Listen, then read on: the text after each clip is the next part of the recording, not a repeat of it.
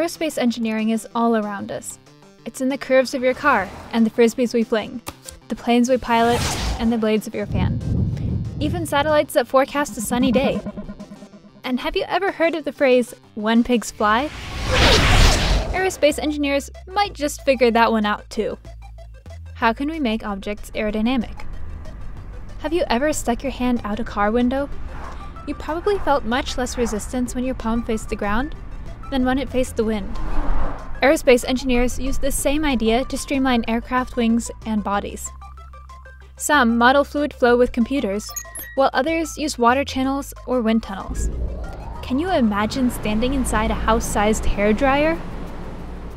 How can we propel things through the air?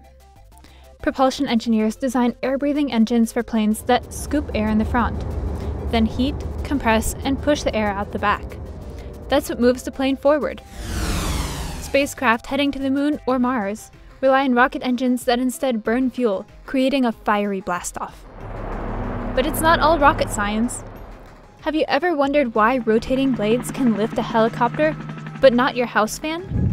An aerospace engineer could explain. It's all about the shape and speed. How can we use controls to pilot safely?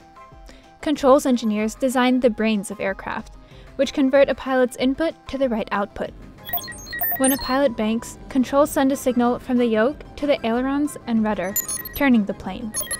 And when it enters turbulent winds, controls help keep the plane steady, preventing a disastrous crash.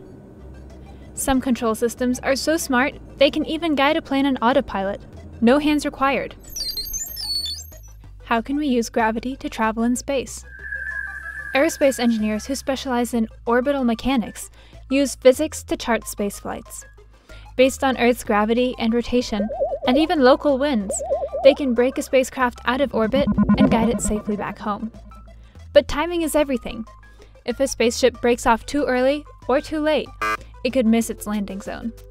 That could mean crashing into the wrong continent or splashing down in the ocean.